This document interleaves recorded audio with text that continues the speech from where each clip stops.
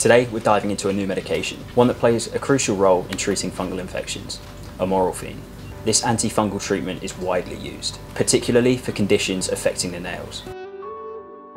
We're going to explore everything you need to know, from its uses and how it works, to some side effects and more. Amorolfine is usually used to treat fungal infections in the nails. These infections usually cause the nails to become discoloured, thickened and brittle. Amorolfine helps by stopping the growth of said fungi, gradually allowing the nail to return to a healthy state. Now this may be its main function, but it can also be used as a treatment for a range of fungal infections all across the skin it works by inhibiting the synthesis of these guys. Without it, the cell membrane becomes permeable, leading to the death of the cell. By disrupting this process, amorolfine effectively kills the fungus, which was the cause of the infection and all of the symptoms that we've listed.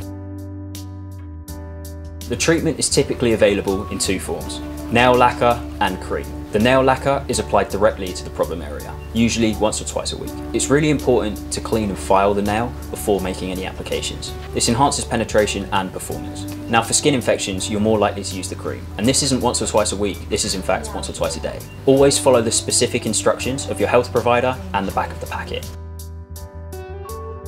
Like all other medications, amorolfine has got side effects. One of the most common ones is irritation at the point of application. So this usually looks like redness, itching, and sometimes a small burning sensation. Please make sure that you avoid your eyes and any mucous membranes in your body. And as always, if you find yourself having a more severe reaction, discontinue the use of the medication and seek immediate medical advice.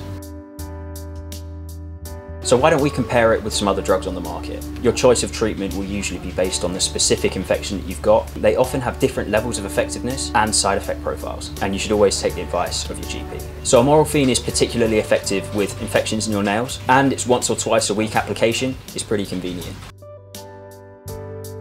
So there have been loads of trials about amorolfine demonstrating its effectiveness and its safety. A 2015 study found that the regular use of amorolfine 5% nail lacquer improved nail appearance and eliminated fungal infections in a significant number of patients over a short period of time. Such studies underline the importance of adherence to the treatment regimes for optimal results.